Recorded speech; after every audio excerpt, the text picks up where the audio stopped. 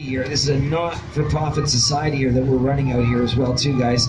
And at the end of the day, there we got to spend about four hours cleaning the stands, and we're really tired. It's been a really long weekend. So at the end of the day today, if we can get everybody there to gather the garbage up around them and take it out with them, that would help us out tremendously, and we very, very much appreciate it. Thank you so much for your cooperation, guys. And I'll mention it a couple more times as well, too.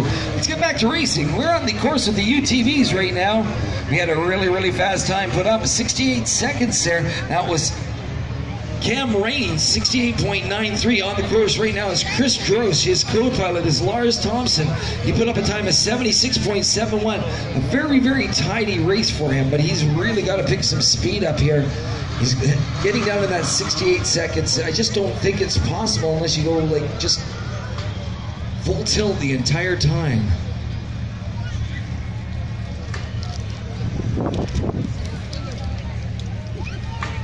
Chris Stross, let's see how he ends up doing. 78.85 seconds.